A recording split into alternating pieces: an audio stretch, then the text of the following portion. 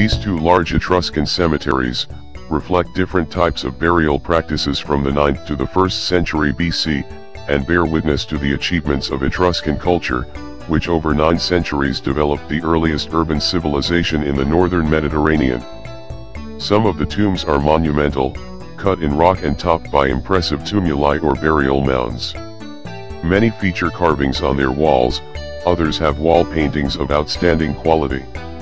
The necropolis near Cerveteri, known as Banditaccia, contains thousands of tombs, organized in a city-like plan, with streets, small squares, and neighborhoods. The site contains very different types of tombs, trenches cut in rock, tumuli, and some, also carved in rock in the shape of huts or houses with a wealth of structural details. These provide the only surviving evidence of Etruscan residential architecture.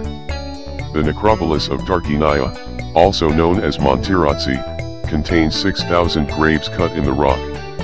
It is famous for its 200 painted tombs, the earliest of which date from the 7th century BC.